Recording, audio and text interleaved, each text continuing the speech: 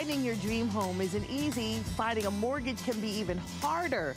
Luckily for you, we've got just the guy to help you figure out the process. It's our real estate expert, TJ Larsen. How are you today? Good.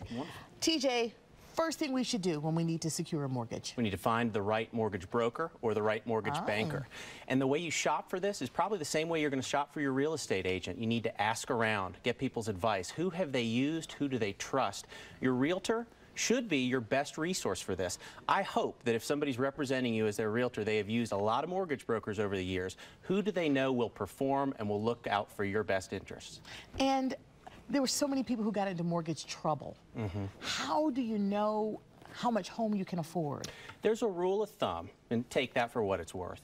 But take your gross yearly income, mm-hmm. multiply that times three, and that should be about the amount that you should borrow. But here's the thing base this off of what your comfort level is, not what the bank will lend you. You know, I've had folks who have come up to me that make $50,000 a year and they said, Yeah. well, the bank says I should be able to borrow $500,000.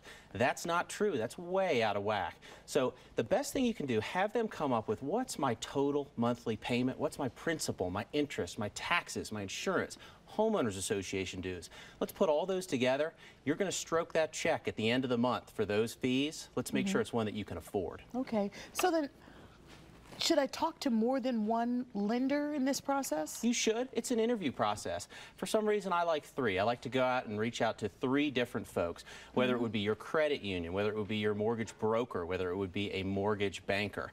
Now, you shouldn't be applying with each one of these folks, but get a comfort level. Have them put Okay. together what's called a GFE or a good faith estimate. That's going to tell you the type of loan program they're looking at, what their fees are, and what their rates are going to be. Okay. Now, within that, I know if there are too many credit report inquiries, that could cause an issue.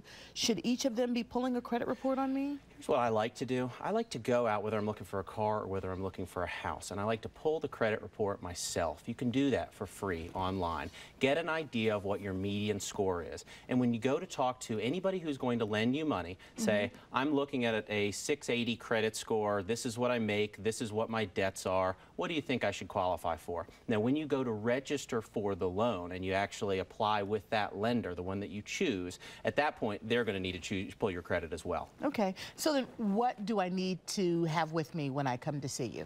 Well, uh, proof of employment, you're going to need that. Uh, 30 days for the pay stub showing your year-to-date earnings. You're also going to need two years of tax returns, two years of W-2s. If you're self-employed, you might need three years. I was going to ask you, what about if you're self-employed? Uh, yes, well, I definitely go down that uh, go down that road. The other thing is proof of assets, what you have in your brokerage accounts, what you have in your banking accounts. Anything that you put on your application, you're going to need to be able to prove. Finally, they're going to want a copy of a fully executed offer to purchasing contract.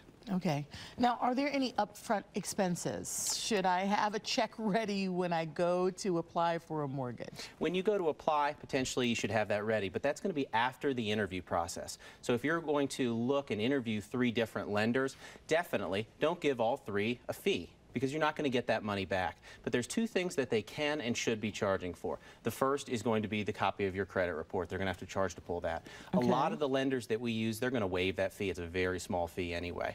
Uh, the next thing that they need to be able to put together is your appraisal. Now the bank is going to want to order that appraisal. It's going to be around 400 bucks. What about paperwork? What kind of paperwork should they be providing for me?